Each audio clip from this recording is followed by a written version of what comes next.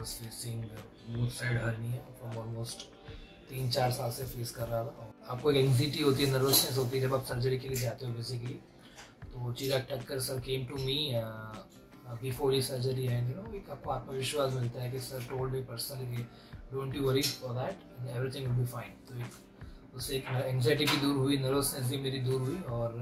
दो ढाई घंटे में सर्जरी हो गई नीचे लेके मेरे को आगे शिफ्ट किया, और तीन चार घंटे में I was feeling very well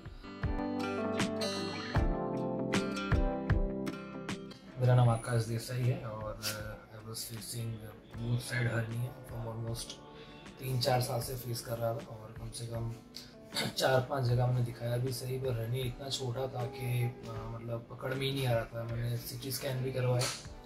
और डीप स्कैन भी करवाया काफ़ी तीन चार सोनोग्राफी भी करवाई, पर सॉल्यूशंस नहीं मिल रहा था। और डॉक्टर से मैं क्रिटिसाइज नहीं कर रहा हूँ किसी डॉक्टर को, लेकिन चार पाँच डॉक्टर से मिला। बट मैंने रिव्यू गूगल पे देखे और यूट्यूब पे सर का चिराग टक्कर सर का नाम सुना। एक दिन मुझे रिव्यू भी किया कि एक बार आप जाके आओ, मिल के आओ। और जब उनसे मिला तो काफ़ी फ़र्क पड़ा और उन्होंने फ़र्स्ट डे मुझे बोल दिया कि you have to conduct surgery अगर हरनिया है तो मेडिकेशन से ठीक नहीं होगा। अगर आपको भी हरनिया है तो I would suggest I recommend can go for surgery और उनको मिलने के बाद उन्होंने मुझे एक स्पेसिफिक सोनोग्राफर का भी नाम दिया इसके शाह उन्होंने काफ़ी मतलब पंद्रह बीस मिनट तक यू नो इंटरेस्ट लेके मेरा सोनोग्राफी किया और ही है उन्होंने प्रेडिक्ट कर दिया कि भाई आपको हरनी है ये। Discuss with Chirag Thakkar sir as well and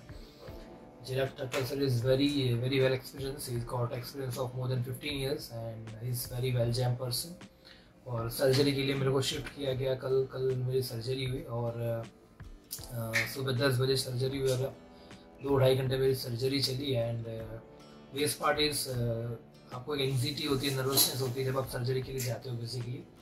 तो Chirag Thakkar sir came to me before ये सर्जरी एंड यू नो एक आपको आत्मविश्वास मिलता है कि sir told me personally don't you worry for that everything will be fine तो एक, उससे एक एंगजाइटी भी दूर हुई नर्वसनेस भी मेरी दूर हुई और दो ढाई घंटे में सर्जरी हो गई, नीचे लेके मेरे को आगे शिफ्ट किया और तीन चार घंटे में बस फीलिंग वेरी वेल थोड़ा सा पेन तो बेसिकली कट होता तो रहता ही आपका, पर उसके सामने पेन किलर्स भी होती है we have pain killers we have injection so